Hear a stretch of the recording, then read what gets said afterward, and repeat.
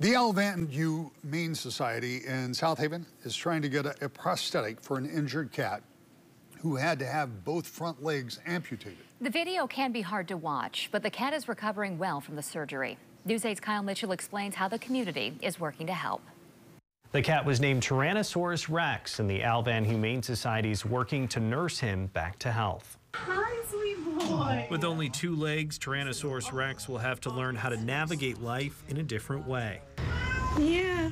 the staff at the Humane Society in South Haven received the cat on Monday after someone found him under their boat in Covert Township. We didn't know the extent of his injuries while he was in the carrier, and then we pulled him out and said, oh boy, that's not one that you see every day. Um, and we immediately got him looked at by our shelter vet. The cat, who the shelter calls T-Rex for short, had to have his legs amputated by a specialist. Given his great disposition and he's super friendly and purring and wanting food and pets, we were like, he deserves a chance, you know, because um, he certainly has the attitude. The staff says they didn't know what caused the injury. It's very possible that he could have gotten caught in like a snare trap that you would use for coyotes or, you know, other animals. Um, it's also possible somebody did it to him intentionally. T-Rex has already been neutered, so the staff thinks he was likely someone's pet, but no one has claimed him. While they've treated animals who needed amputations in the past, they haven't seen anything to this degree.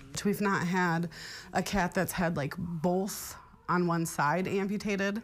Um, it's usually been like one limb. The Humane Society has already seen a lot of interest in adopting the cat and is looking for a home that can manage his needs. Um, we're hoping maybe we will be able to raise the funds for prosthetics or find somebody who's willing to make prosthetics for him maybe. T-Rex is still on pain medicine while he recovers from the surgery, but is already showing signs he can adapt to not having his front paws. He's definitely going to have some challenges ahead. He's already figuring out kind of the balancing, and he sits more back on his back legs. And once he kind of gets that figured out, I think he'll be in a much better spot.